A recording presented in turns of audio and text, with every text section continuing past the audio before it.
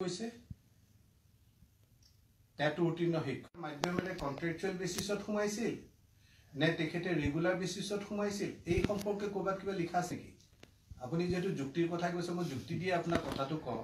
তাত লিখা আছে নেকি যে নহয় আপুনি ঠিকাভিত্তিক শিক্ষকক মই চাকৰি নিয়মীয়াকৰণ কৰিম? ক'ৰবাত লিখা আছে নেকি? আপুনি কৈছে টেট উত্তীৰ্ণ। টেট উত্তীৰ্ণ মই বুজি পালোঁ। আপুনি টেট পৰীক্ষাত মানে আপুনি টেট পৰীক্ষাত উত্তীৰ্ণ হৈছে গতিকে আপুনি টেট কোৱালিফাইড টেট কোৱালিফাইড বুলিহে লিখা আছে। ক'ৰবাত লিখা আছে নেকি যে কণ্ট্ৰেকচুৱেল টিচাৰবিলাকক আমি নিয়মীয়াকৰণ কৰিম?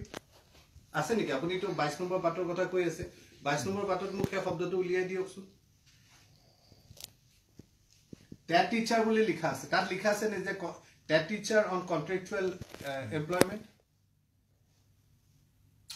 আৰে কৰ্মৰত বুজিলো মই। কৰ্মৰত শিক্ষক কৰ্মৰত শিক্ষক নিঃসন্দেহে লিখা থাকিব লাগিব।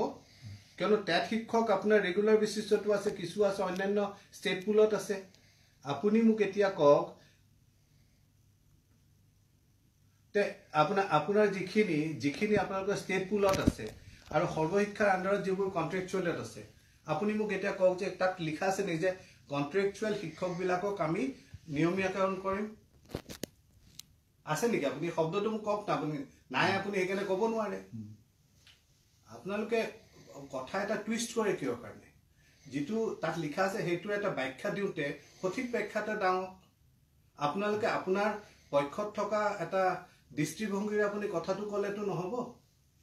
যুক্তিৰে কওক আপুনি কথাটো। তাত লিখা আছে নেকি যে ঠিকাভিত্তিক টেট শিক্ষকসকলক আমি নিয়মীয়াকৰণ কৰিম?